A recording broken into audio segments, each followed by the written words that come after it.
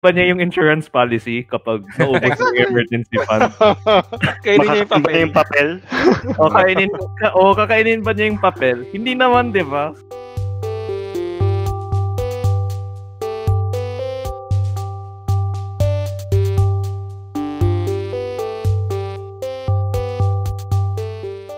Hello! Kamusta? Hello. Kamusta? Sa, oh, tayong Very apat good. ulit for a Oo new episode sa Wealth Archy. The Fab Four. Oo. Fab Welcome back, Or- Adriel. Oo nga, nasa, nasa Welcome Metro to Manila ka na. yes, back in Manila, hindi na sa Oo nga. Hindi ka ba inalaw kinarantine? Hindi, self-quarantine. Self-quarantine. Ah, So, self- third day ko na self-quarantine, kulong sa kondo. Okay. Ano aeroplano sinakyan mo? Ah, pal, pal. Apal. Naka-PPE daw siya, Renzi eh. As in, Ah, full Ah, really? Full gear. Oo. As in yung parang may hazmat, ganon? Hindi, yung ano lang, N95 goggles, tapos naka-ano ako, yung PPE gown. Anong pag-uusapan natin today? Yan. Yan. Yan. Dahil maraming nagtatanong na nagulat ako, wala pala tayong video. Oo. At nag-trending sa isang forum group. Ano yung anong nag-trending? Oo, kung ano ba unahin? Insurance ba or emergency fund? Oh, nga. yeah. Oo. So nakakagulat no, La- alam ko kasi lagi natin nababanggit 'yan. Oo, oo, oo. Mm. Pero Wala- for some reason, wala pala tayong dedicated na video na pag-uusapan. So, yun. So, sagutin natin. Ano bang dapat ang unahin? Um, emergency fund or insurance? Ah, when you say Sige. insurance, ano to? Life insurance? Health insurance? Kahit anong life or health, no? Okay, So, so, let's start na lang siguro as a story. So, yung nag-trending sa Oh, Isang may story insurance. pa to, ha? so ano yung story na yan? nakara- So, Minsan, ang nakara- isang araw. uh, ang, minsan, naka, ang nakaraan. so, isang gabi, may nag-post sa PIT group or yung isang insurance group, no? Ah, na nagtatanong siya sa mga advisors na oh, wala na akong income tapos gamit ko na lang emergency fund ko. So down to my last let's say three months ng emergency fund. Naku, Tapos meron akong insurance policy na may fund value. No? Let's say yung fund value na yon daw sabi niya good for another three months yon sa emergency fund. So kapag i-add niya daw yon kung surrender ba niya yon ah, magiging six months ulit yung emergency fund niya. Ngayon daw, nag-freelance daw siya pero unstable yung income. Kaya nag-iisip siya kung isa-surrender ba niya or hindi. So yung root of the problem, nawalan siya ng income tapos paubos na yung emergency fund tapos hindi Mm. pa stable yung income niya kaya napapaisip siya kung ilalapse niya yung policy or hindi. So yung nangyari sa sa comment section, nagde-debate lahat ng agents na ikikip, Ah. hindi, oh. sa yung sa akin sabi ko since dahil may nagtag kasi sa akin na ano na isang member doon na Mhm. yo ATL ano yung thoughts mo yan na naman tayo Your sa mga thoughts, your your thoughts, thoughts. na your thoughts Ah. na yan eh so Ah. binasa ko yung story niya at sinabi ko I think based on what you said um it's better na i-surrender mo na lang muna yung policy mm-mm. because anyway you're just at home no tapos kailangan mo rin yung pera ngayon dahil hindi natin alam kasi kung matatagalan pa yung pandemic yung job mo ngayon na freelance so super unstable siya. So it makes for me makes sense na isa-surrender mo siya tapos gagawing buffer yung emergency fund for the next six months. Tapos kapag okay na yung income mo sa freelance mo um, that's the time you can get another policy. Na cheaper na then upgrade mo na lang kung kailangan no? Mm-mm. so yun yung sinabi ko as the general advice as the in terms of financial planner. Tapos may nagdebate pa sa akin Ah, na ano yung May nag-challenge sa'yo. Ah, challenge ano sa sabi? akin na sabi niya in a cash flow management perspective okay yan. Pero in an investment perspective hindi. Counter rebuttal ako na um, yung insurance policy niya hi- hindi siya investment. At this at, at the end of the day um, insurance policy din siya so ano yung kailangan i-address natin ngayon yung current needs ba natin or yung insurance policy na i-keep natin in force no Mm-mm. Because regardless of what happened, no? Um, kailangan pa rin niya bayaran yung policy at the end of Yes. the day. Kahit i-delay niya for let's say two years or one year, which most of the advisors are saying na i-delay na lang yung payment, etc. Yung delay of payment, babalik din yan sa'yo eh. So, Mm, the lapse. yeah, maglalapse din yan. So, parang sayang yung 65k or whatever that amount. is. 65? 65k Mahal, yung ah. sinabi niyang fund value eh. Tapos, Yun na yung fund value. Oh. Oo. Tapos, So pwede rin kasi yung fund value yung magbabayad dun sa Na policy. premiums eh, no? Oo. So ang tanong niya, it's either uh, i-redeem, i-surrender ko yung policy, makuha ko yung cash value, or I will let the fund value pay for the Mm. insurance muna so that Mm-mm. bawas din yung aking uh, uh, Mm. kailangan bayaran, no? So yun. Yeah, but yung niya. dilemma niya is kung hindi niya daw ma-redeem, tapos maubos yung emergency fund niya, saan siya kukuha ng pera ngayon? 'Di ba? So yun yung Oo. issue niya. Kaya sabi ko, I think better na yun nga, i-surrender. Para at least you have your peace of mind na at least meron kang pambili ng pagkain, ng grocery for the family. Tapos because he's staying with his parents din, so at least at least may ambag siya sa bahay, pambayad ng bills. Anong, necessities. ano ang bag mo? Baka tanungin siya, ano ba ang bag mo? Oo. So, yun yung ano ko, counter rebuttal ko. Mas importante ba talaga ngayon, ibabayad mo yung insurance policy mo? Eh, wala kang ang income eh. Di ba? Mm. So, yeah. again, sa ano, cover your needs. Kailangan may food ka in the table, sustain yourself. Because kung if you don't sustain yourself, can you still pay your policy? Para mag, alam mo yun, magdo-domino effect yan eh. Mm-mm. One, one problem to another. So, yun yung counter ko. So, yeah. Mm-mm. Yun yung story. Yeah, so, well, end of the day, yeah, for me, pagdating- emergency fund talaga first. Because you'll never know when an emergency will strike. Yung insurance policy kasi it's meant to cover yung unexpected, no? Meron kasi tayong tinatawag sa risk management na um, yung, paano ba yun? High probability and then in, low probability, high Oh, effect, probability. Oh, high effect. Mat- malaki yung Or effect. major effect or low- minor effect. Yes. effect, oo. So in terms of ano yung effect sa'yo versus ano yung probability of it. Yung life insurance kasi covers yung low probability pero high effect, no? Mm-mm. Yung emergency fund, tinitingnan ko siya, very risk, ma- no? Very high yung probability, pero yung effect can vary. No? Mm-mm. It can be low, can be high, can be medium. So, kailangan always nandyan siya para at least makover niya yung all the all the risk. So, yun yung ano ko, take ko dyan. Yeah, so, oo. emergency fund muna. yeah, before the insurance policy. But, kung gusto talaga ng insurance, then you can check yung mga micro-insurance, pre-need burial, di ba? Mm-mm. Though it's a case-to-case basis eh, per person. Iba kasi yung galawan or yung analysis sa low-income person versus a person who's, let's say, mga blue-collar or working professionals versus high net worth eh. So, it, again, tinitingnan talaga yung need for me. Do always Mhm. have your emergency fund first. Ah, as much as possible, ayaw nga natin na sinusurrender yung policy or Mm. pinapalapse. Of course, that is the the last thing that we want them to do. But, of course, ang priority natin ay yung um, ma- mer- magkaroon sila ng funds para sa present needs nila. Yes. And if it means uh, surrendering a policy, then uh, so be it. Kasi yun nga, meron kang policy, wala ka namang makain ngayon. So, ang mangyayari, mag, magagamit mo yung policy, di ba? Kasi pag Oo namatay ka. so that so Diba? that's uh, parang counterintuitive. But Yeah. uh, I guess yung original na, na gusto nating din masagot, which is very often yung tanong sa atin is, kunwari, you're just starting, wala ka pang emergency fund, wala ka pang insurance, ano ba Mm. dapat yung unahin? Kasi I, I see sa social media na Oo. ang pinupush kagad nila is, ah, ayan, Insurance. nakakapag-ipon ka na, kailangan mo nang bumili ng insurance, di ba? Mm. So, ah, yung anong- ako dyan, ano masasabi niyo Um, sa ganong advice na, ayan, medyo nakakapag-save ka na, so dapat bumili ka na kagad ng insurance ngayon. Mapa, may, life insurance man yan or health Mm. insurance. Actually, may client akong ganyan.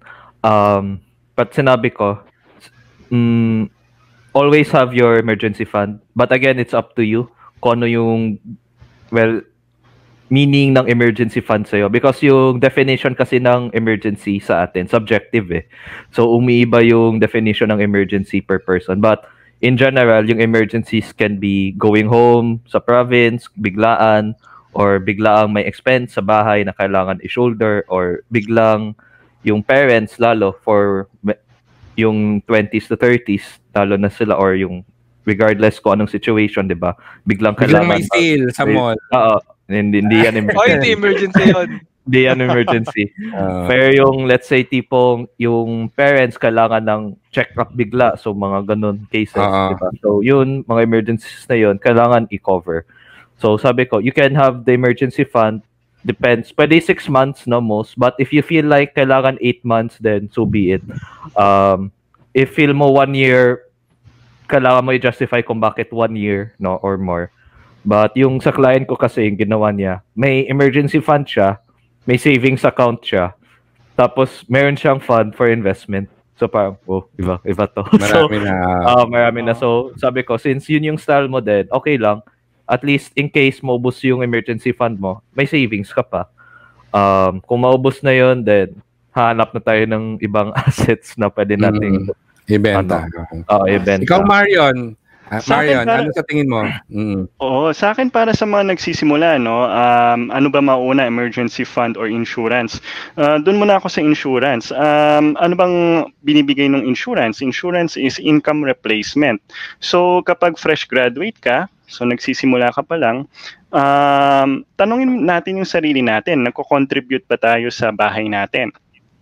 Now again, it depends kasi minsan uh, we come from a well-off family na hindi naman natin kailangan mag-contribute, di ba?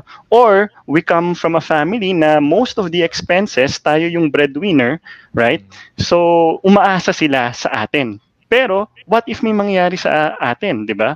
So sino yung papalit dun sa income o sa contribution na binibigay ko sa bahay? Doon papasok yung insurance. Uh, then again, dun sa emergency fund naman, Um, for me kasi insurance is has a component na liability eh. You still have to pay for your insurance through premiums para maging effective siya.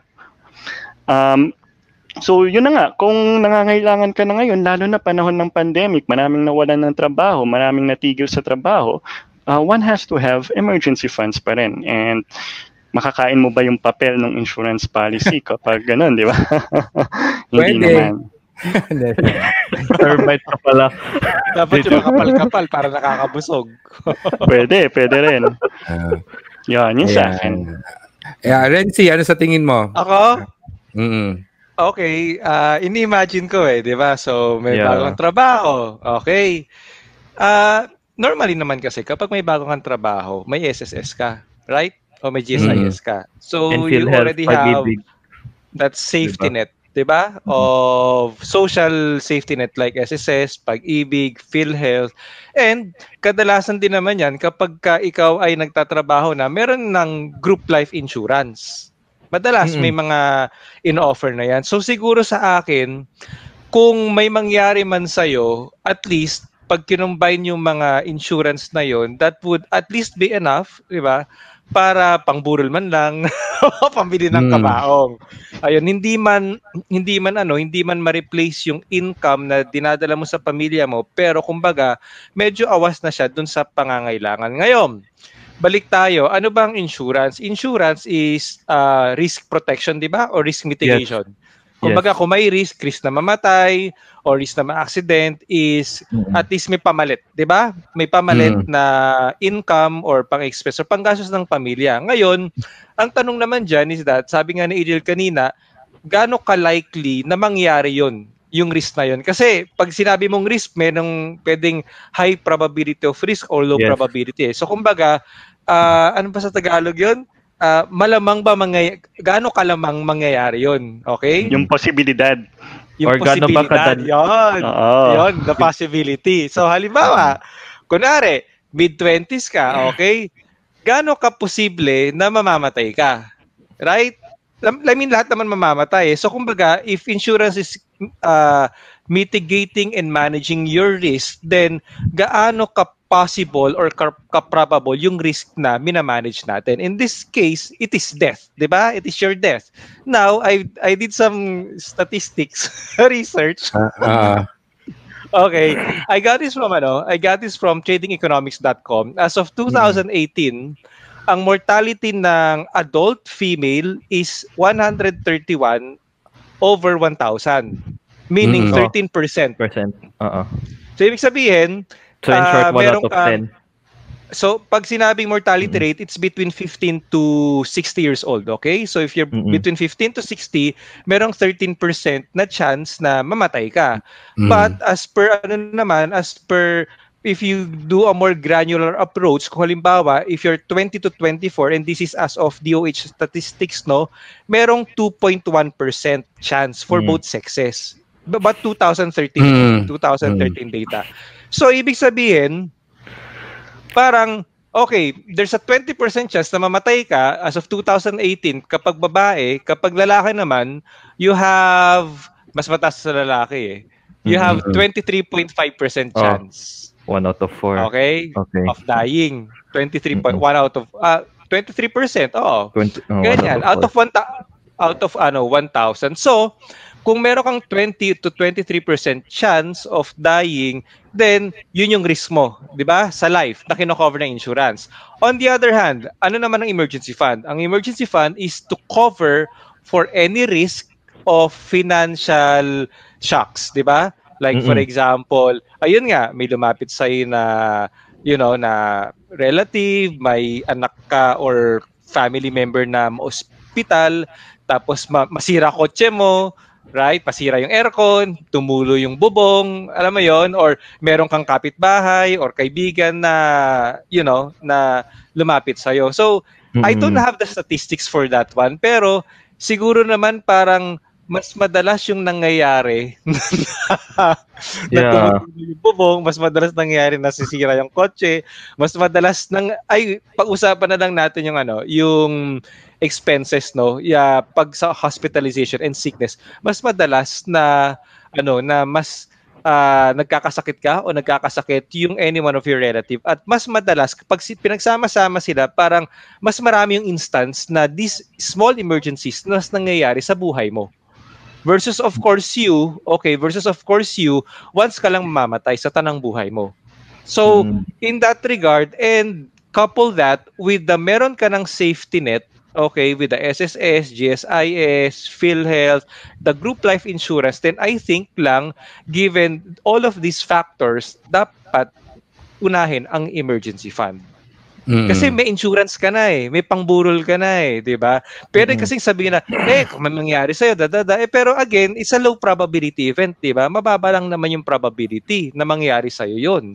Okay? In fact, kapag ka, yun na nga, if you're 20 to 24, 2.1% lang ang probability as of 2013 kasi ito yung mm-hmm. sa DOH.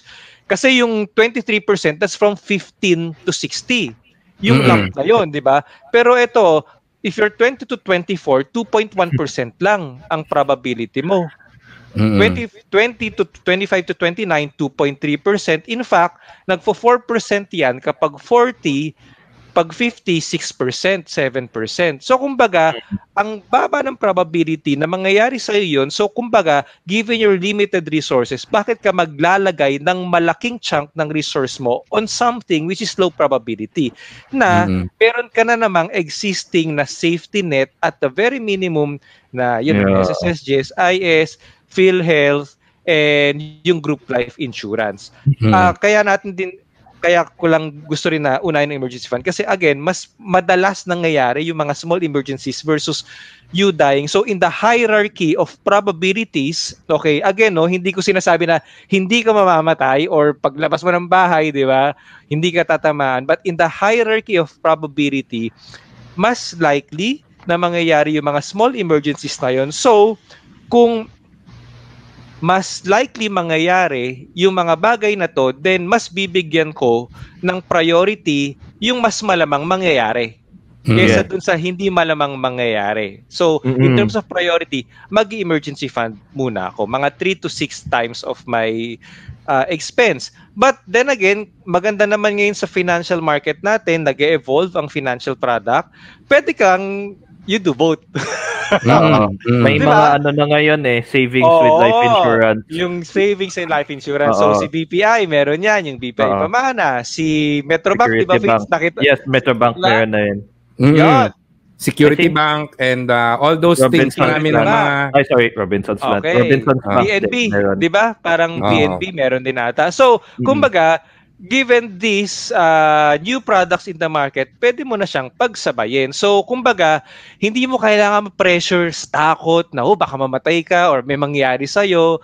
I mean, may safety net ka na naman eh. So, okay na yun, di ba? Tapos, habang binibuild mo emergency fund mo, then avail of those products na may free insurance uh, with your ano with your savings na 3 to 5 times of your average daily balance. So isipin mo kapag ang emergency fund mo nasa 100,000, may 300,000 na free insurance, wala kang kailangan bayaran at hindi mo kailangang magutom para magba uh, para magbayad, di ba? 'Yun ang take ko diyan. Yeah. Ayan. So, Tapos regarding yeah. natin. Sige, last, Adriel. Yeah, so regarding mga hospitalization, ay mga expenses na yan. So, may video tayo dyan regarding HMO and health insurance. So, uh, link will be in the description or in the playlist. So, just check it out. So, mm-hmm. guys, kung may natutunan kayong uh, bago dito sa video, then please give it a thumbs up and share it yes. to your friends. And mm-hmm. please remember to subscribe to our channel. Yes, and don't forget to hit that notification bell so that you won't miss a thing. All right. So, see you so, guys. Kanta yun ah, yung